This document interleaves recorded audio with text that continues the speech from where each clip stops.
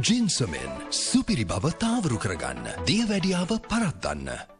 ක්‍රියාශීලී ජවසම්පන්න නිරෝගමත් ජීවිතයක් සඳහා ඔබට තියෙන හොඳම සහ එකම විසඳුම ජිනිසුමෙන් කියලා අපි නිරන්තරයෙන් ඔබට මතක් කරනවා මේ වැඩසටහන හරහා. ඉතින් අද ඒ කොතරම්නම් උපලා තියෙනවද කියලා කිව්වොත් ලෝ පුරා මිලියන ගණනාවක් ජනතාව බොහොම ආදරණීය බොහොම විශ්වාසයෙන් යුතුව පාවශ්‍යක නිෂ්පාදනයක් බවට පත්ලා තියෙන ජිනිසුම නිෂ්පාදනයේ ඒ තරම්ම සාර්ථක ප්‍රතිඵල මම හිතන්නේ රටවල් රසක ජනතාව අත්දකින අත්විඳින නිසා ඒ නිසා අපි අදත් කතා බහ කරනවා දියවැඩියාව රෝගය තිබෙනවා නම් ඔබට ඒ සඳහා තිබෙන හොඳම විසඳුමක් තමයි ජින්සුමන් කියන කාරණාව සම්බන්ධව අපි කතා බහ කරමු. ඉතින් වෙනද වගේ මාත් ඉන්නවා මේ සුන්දර කතා බහට ඔබ කවුරුත් දන්න ආදරණීය වෛද්‍යතුමන් ආචාර්ය වෛද්‍ය ආරශ්‍ය වර්ධමාත්ම සුබ දවසක් ඔබතුමන්ට. සුබ දවසක් උද්දික. ડોක්ටර් අද මගේ ප්‍රශ්න අහන්න කලින් මගතම පාරිභෝගෙන් ගොඩක් ප්‍රශ්න ලතින ඩොක්ටත් එක හන්න කෙලද මේ පොඩි වෙලාවක් ඇතුළ ප්‍රශ්න පත්තරයක් තියෙන හැබැයි අපි කාලවෙලා තිනිදිර බෙදාගම ප්‍රශ්නටික් පලින් ප්‍රශ්නය ඩොක්ටේ ලති මේ මටත් මේ පටක් හොඳ ප්‍රශ්නයක් ලෙතුන කවිශ ජයමාන මොනට මේ ප්‍රශ්නය අල තියෙනවා. ඩොක්ට ම අවුදු තිස්තික තරුණෙක්.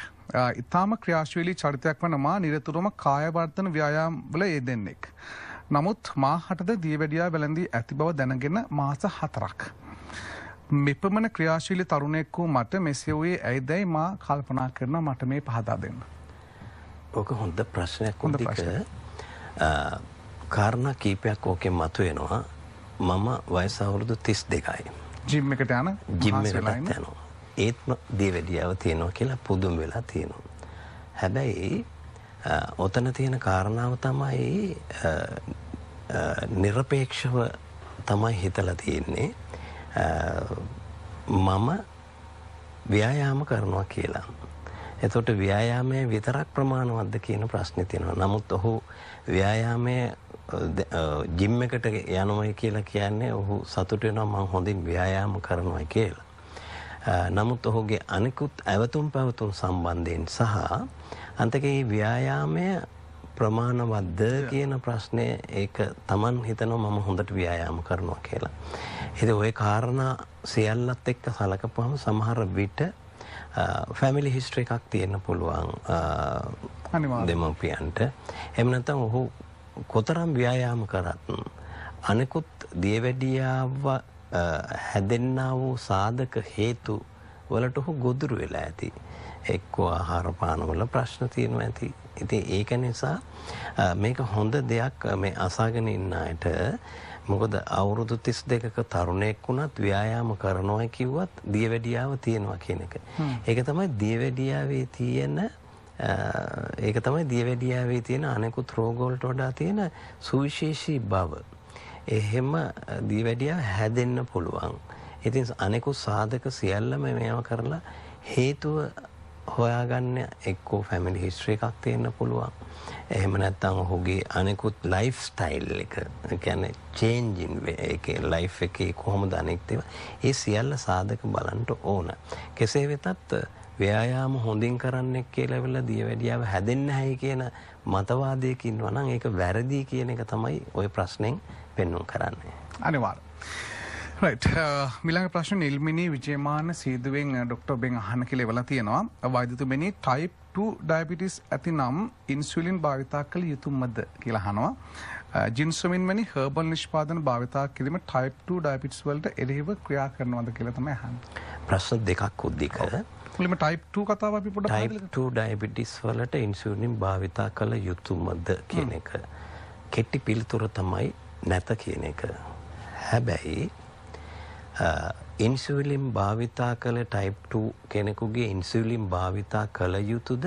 එහෙම නැත්නම් කරන්න ඕනන්නේ නැද්ද කියලා තීරණය වෙන්නේ සාධක කීපයක් මත. සහ දියවැඩියාවේයි ඩයග්නෝස් කරපු කාලය මත තමයි තීරණය වෙන්නේ. එතකොට දැන් ටයිප් 2 ඩයබටිස් වලට ඉන්සුලින් නොමැතිව දීර්ඝ කාලයක් වෙනත් ඖෂධ පාවිච්චි කරාගෙනම කොන්ට්‍රෝල් කරාගෙන එන්න පුළුවන්. හොඳින් තියෙන්න පුළුවන් ඉන්සුලින් නැතුව. හැබැයි සමහරක් දෙනාගේ ටයිප් 2 ඩයබටිස් තිබ්බත් දීර්ඝ කාලයක් අවුරුදු 15කට වඩා දීර්ඝ කාලයක් එහෙම තියෙනවා නම් සමහර විට ඉන්සුලින් කියන හෝමෝනේ ගන්න වෙනවා. මේක තීරණය කරන්නේ විශේෂඥ වෛද්‍යවරු මේකට කොහොමද ප්‍රතිකාර කරන්න ඕනන්නේ කියලා. ඒක නිසා ඔය මතයට කෙටි පිළිතුරක් දෙනවා නම් ටයිප් 2 ඩයබිටිස් වලට ඉන්සියුලින් ගත යුතුද කියලා නැහැයි කියන එක තමයි කියන්න තියෙන්නේ. ඉස්සර ඔය ටයිප් 2 ඩයබිටිස් වලට කියන්නේ non insulin dependent diabetes mellitus කියලා. කියන්නේ ඉන්සුලින් මත ඩිපෙන්ඩ් වෙන්නේ නැති ගණයේ මේ දියවැඩියාව කියන එක දැන් ටයිප් 2 ඩයබිටිස් කියලා තමයි හඳුන්වන්නේ.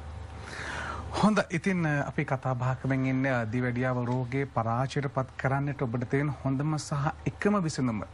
ජින්සුමෙන් කෙ නිෂ්පාදන සම්බන්ධ කතා කරන මතන්නේ ලංකා විතරක් නෙමෙයි ඔබ දන්නවා. ලෝකේ පුරා මිලියන් ගණනක් ජනතාව බොහොම ආදරණීය විශ්වාසයෙන් පාවිච්චි කරන නිෂ්පාදනයක්.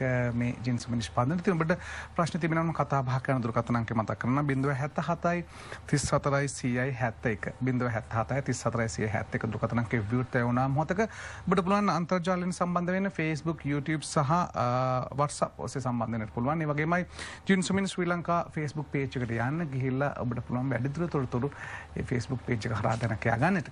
ඩොක්ටර් තවත් ටිකක් ලොකු ප්‍රශ්නයක් තියෙනවා. මේක අතිශය වැදගත් කියලා මම කල්පනා කරනවා. මේ නිලන්ති වීරසිංහ අහන්නේ මාළබෙන් මේ ප්‍රශ්නේ ඔබෙන්. ඩොක්ටර් මාහට දියවැඩියාව වැළඳී වසර 3කටත් වඩා වැඩි කාලයක් වෙනවා. දිගටම ඉංග්‍රීසි බෙහෙත් භාවිතා කළමි. අදරත් භාවිතා කරනවා. ඒ අතර දැනට මාස හතකට පෙර සිට මා බොන බෙහෙත් බොන අතරේ දියවැඩියාවට හොඳයි කියන නිසා ජින්සුමින්ද භාවිතා කරන්න පුරුදු වුණා. දිගටම දෙසිය තිහා දෙසිය පණහා තිබූ මගේ සීනිමට්ටම දැන් එකසිය හැටත් එකසිය හැත්ත පහත් අතරට ඇවිල්ලා. දිගටම ඉංග්‍රිසි බෙහෙත් සම්ග ජින්සුමින් භාවිතා කළට කමක් නැත. දැන් ඔව උද්දික දැන් එකක් තමයි දියවැඩිය රෝගයක් හැටියට මේ හොඳින් අවධානය යොමු කරලා තියෙනවා රෝගය පිළිබඳව. එතෝට දියවැඩිය දෙසිය පණහක ඉඳලා එකසිය ගණන්වලට එකසිය හැත්තෑ පත් දක්වා නේද. එකසිය හැත්තෑ පහට පමණ බැහැල තියෙනවා. එතෝට මැය කොන්ට්‍රෝල් කරන බව තේරෙනවා. හැබැයි එකසිය හැත්තෑ පහ කියලා කියන්නේ ඒ මට්ටමත් වැඩි සාමාන්‍යයෙන් සියයට වඩා අඩුවෙන් තබාගන්ට ඕන. එතොට දැන් දීර්ඝ කාලයක් තිස්සේ දියවැඩියාවට අදාළ ඖෂධ පාවිච්චි කරන අතරතුරේදී මේ ජින්සෙන් අඩංගු කරලා තියෙන මේ ජින්සොමෙන් ඖෂධයද පාවිච්චි කරනවා කියලා තියෙනවා. ඒක පාවිච්චි කරාට පස්සේ විශාල වශයෙන් පහළ බැස්සයි කියලා තියෙනවා. ඒක හොඳ ජින්සොමින් වල රිසර්ච් වලින් කියලා තියෙනවා. රිසර්ච් පෙන්නුම් කරනවා ආටිකල් විශාල මේ රිසර්ච් ප්‍රමාණයක් කරලා තියෙනවා. මේ ජින්සෙන් ජින්සොන් වල අඩංගු කරලා තියෙන ජින්සෙන් වලින් කොහොමද මේක අඩු වෙන්නේ කියලා. පළවෙනි කාරණාව තමයි මෙහි එක ක්‍රියාකාරීත්වයක් තියෙනවා යම් කිසි ඖෂධයක් සමග ජින්සොමින් පාවිච්චි කරපුවාම ඒ ජින්සොමින් වල තියෙන ජින්සෙන් වලට හැකියාවක් තියෙනවා අර අනෙකුත් ඖෂධවල සාපල්්‍යතාවේ වැඩි කරන්නට සහ ජින්සෙන් අනිත් එක තමයි ජින්සෙන් මගින්ම සොයන්ව කරන දියවැඩියාව එකෙන් රුධිරයේ ග්ලූකෝස් පාලනය කරන අඩු කරන යාන්ත්‍රණයකුත් තියෙනවා යාන්ත්‍රණ කීපයක්. ඒ දෙකම මුසු වෙච්චාම තමයි අර විදිහට හොඳින් දියවැඩියාවේ රුධිරයේ ග්ලූකෝස් ප්‍රමාණය හොඳට පාලනය වෙමින් අඩු වෙමින් අඩු වෙමින් යවන්නේ ක්‍රමානුකූලව මේක අඩු වෙමින් යන්නේ. එතකොට දැන් යම්කිසි කෙනෙක් හිතනවා නම් මේක ඒ විදිහට ගත්තාම ඉක්මනටම ග්ලූකෝස් ප්‍රමාණය අඩු වෙනවයි කියලා. හැබැයි ඇය හොඳින් දීර්ඝ කාලයක් පාවිච්චි කරලා තියෙනවා. ඉතින් ඒක නිසා තවදුරටත් රුධිරයේ ග්ලූකෝස් ප්‍රමාණය අඩු කරා ගන්නට ඕන. ඒක නිසා ඔය ඔබගේ උත්සාහය ඔබගේ ඒ ක්‍රියාදාමය දිගටම කරන්න කියන එක තමයි මගේ උපදේශය. අනිකුත් බෙහෙත් සමගින් මෙයත් පාවිච්චි කරන්න දිගට කිසි ප්‍රශ්නයක් නෑ. කිසි ප්‍රශ්නයක් නෑකුත් බේත් සමින් පාචි කන පුලන් කිසි ප්‍රශ්නයක් නෑ. බිඳුවයි හැත්ත හතයි තිස් හතරයිසියයි හැත්ත එක බිඳුව හැත්ත හතයි තිස් හතරයිසියයි හැත්ත එක දුරගතනන්ගේ විවෘත්තයි ඕනෑම වෙලාක ඔල්ල කරගෙනට පුළුවන්. ජින්සුමින් පොලිසමගින් සම්බන්ධ වෙලා ඔබට දී වැඩිය අවරෝගයෙන් තොරව නිරුගම ජීවිත ගතකන්න වශ වට පිනාව නිර්මාණය කරගන්න. නිසා අපි ආදරයෙන් ආරාධනා කරන දුරගත නැමතුමක් ගන්න. අරගෙන කතා බහ කරන්න ඩොක්ටර්ත් එක්ක. අපි කතා බහ නිමා කරමු. ඩොක්ටර් බොහොමත්ම ස්තුතියි මම දීර්ඝ ප්‍රශ්න ප්‍රමාණයක් තියෙනවා. නමුත් ප්‍රශ්න දෙන්න අහන්න වෙලාවක් තමයි ගැටලුව තියෙන්නේ. අපි අද දවසක් හම්බෙලා ගැන කතා බහ කරමු. බොහොම ස්තුතියි ඩොක්ටර් අපි කතා බහ නිමා කරනවා. ඔබට ආරාධනා කරනවා ටීවී දෙන්න සමගින්න දෙන්නට ජින්සමෙන් සුපිරි බව තාවරු කරගන්න. දියවැඩියාව පරත්වන්න